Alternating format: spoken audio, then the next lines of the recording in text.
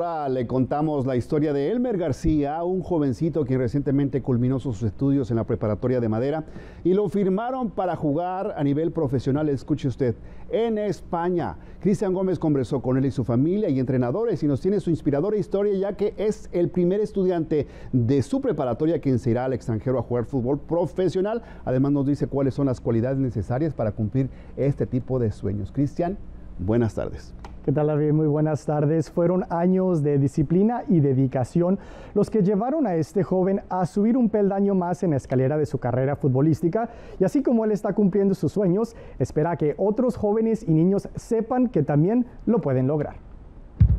Un balón y unos taquetes de fútbol se han convertido en amigos inseparables para Elmer García, un joven recién egresado de la preparatoria de Madera. Pues yo empecé a jugar como de, de bebé desde que pude caminar me puso para jugar a fútbol para mi papá, pues, pero mi primer fútbol uh, organizado, un juego, fue en el 2011. Fue el primer, este, que es el 2011. Marino, el padre de Elmer, fue quien le transmitió a su hijo el amor y pasión por el fútbol. Un deporte que para él lo significaba todo, a pesar de que en su infancia no tenía los recursos para comprar lo necesario para jugarlo. Este, no tuve pelota cuando yo era niño, no, no tenía zapatos, no tenía nada pero siempre me ha gustado los deportes, cualquier tipo de deporte. Y más me enfoqué en el fútbol.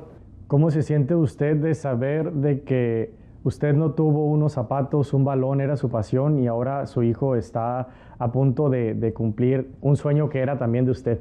Pues como les digo, estamos este, yo de mi parte, como me, pongo a platicar con él y le digo que con los logros que él ha llegado, yo estoy bien contento eh, bien, bien como orgulloso, bien este, feliz y siempre motivarlo, que de, una u otra manera se tiene que ser los sueños realidad y nada es imposible. Y es que Elmer se acaba de convertir en el primer alumno de la preparatoria de Madera en firmar para jugar fútbol profesionalmente en el extranjero.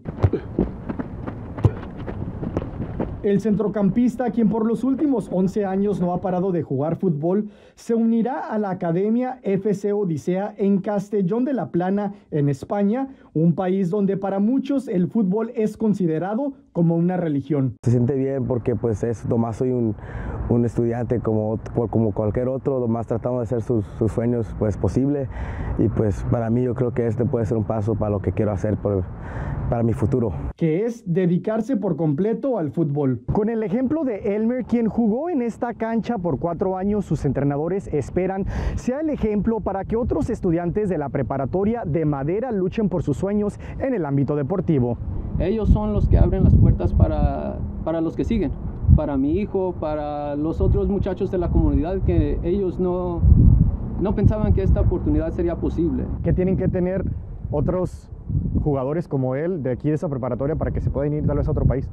Tienen que enamorarse con el, con el deporte. Eh, Elmer eh, está fascinado de todo, todo del deporte, cómo ser ah, defensivo, cómo, cómo anotar goles, cómo, cómo ayudar a su equipo.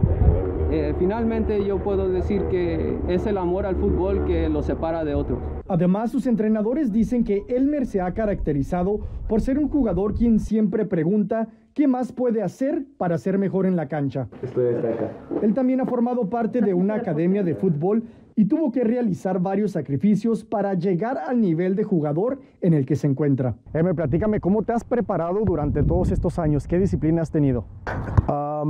Pues mi padre siempre me ha dicho que si quiero, que si quiero lograr esto en serio, seriamente, pues que tengo que, que estar 100% con todo lo que hago, si es entrenamiento, un juego o yendo al gimnasio, que, que, que tener esa disciplina y que aunque, aunque, unas veces sí, sí me paso, pero, pero la mayoría del tiempo pues siempre, siempre es fútbol, fútbol, si hago esto, si hago lo otro, cómo me afecta y, y siempre ha sido, tenido mucha disciplina y, y motivación. Disciplina que tiene a su familia llena de orgullo, ya que sus padres, quienes son campesinos, dicen se han esforzado para apoyarlo. Es verdad que nosotros venimos de indocumentados como buscando el sueño americano, pero no hay que quedarnos estancados, sino que nuestros hijos sean nuestra prioridad, pues.